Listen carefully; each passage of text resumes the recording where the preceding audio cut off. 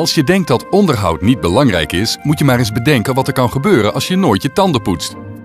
Van een wat grotere orde zijn vliegtuigen. Daarbij is het van het grootste belang dat er uiterst zorgvuldig en gedegen onderhoud plaatsvindt. Dat kan het periodieke basisonderhoud, het werken aan onderdelen en of het vertrek klaarmaken van een vliegtuig zijn.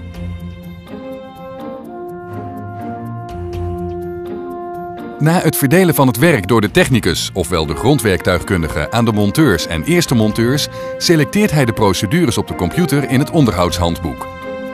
Welke inspectieopdracht de hoogste prioriteit heeft, wordt door hem bepaald en wordt als eerste uitgevoerd. De eerste monteur controleert in het belang van de veiligheid of de gereedschapsset in orde is en compleet, zowel voor als na zijn werkzaamheden.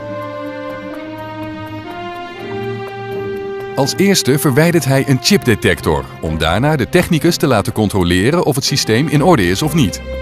Je werkt als eerste monteur weliswaar zelfstandig, maar belangrijke beslissingen over de onderhoudshandelingen overleg je altijd met een technicus. Die heeft de kennis en de bevoegdheid hiervoor. Zoals je ziet zijn er diverse technici betrokken bij het onderhoud van een vliegtuig. In het logboek kun je precies zien welke werkzaamheden en tests er verricht zijn en hoe de status van het vliegtuig is. Om gedetailleerde informatie boven water te krijgen, bekijkt de technicus op het display in de cockpit verschillende systemen. Aan de hand van diverse procedures worden systemen veiliggesteld die beschreven zijn in een Aircraft Maintenance Manual. Dit gebeurt onder andere in het computerhart van het vliegtuig en is nodig om zonder gevaar te kunnen werken.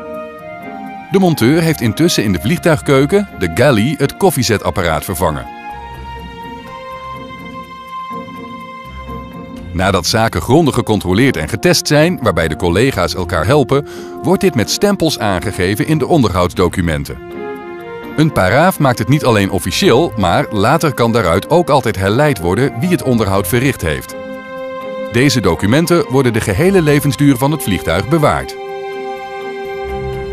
Als laatste onderdeel van het onderhoud wordt het vliegtuig naar buiten gesleept, waarna de motoren gestart worden en alle systemen waaraan gewerkt is gecontroleerd worden of ze naar behoren functioneren.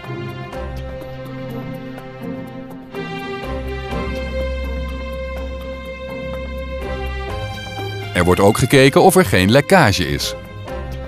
Hierna wordt de onderhoudsbeurt afgesloten en het vliegtuig overgedragen aan de vliegdienst. Daarna kunnen heel veel mensen van diverse nationaliteiten weer veilig op weg naar hun zakelijke of vakantiebestemming.